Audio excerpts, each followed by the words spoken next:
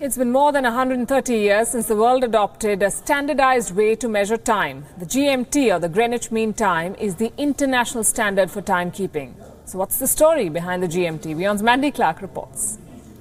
On October 13, 1884, the small village of Greenwich, southeast of London, was literally put on the map.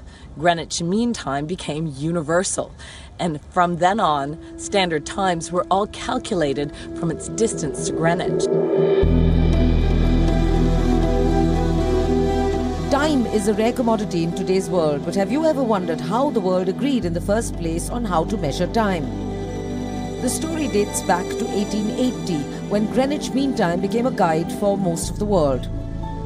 The GMT was first proposed by engineer and inventor Sandford Fleming and the United Kingdom was the first to standardize time. The British Railway Company was among the first movers to adopt the GMT in 1847. It was in the year 1880 that Greenwich Mean Time was declared Britain's legal standard time. The Greenwich Meridian was recommended as the prime meridian of the world in 1884. There were two reasons for that. The United States had already adopted Greenwich as a measuring point for its own national time zone. The other reason was the power of the shipping industry.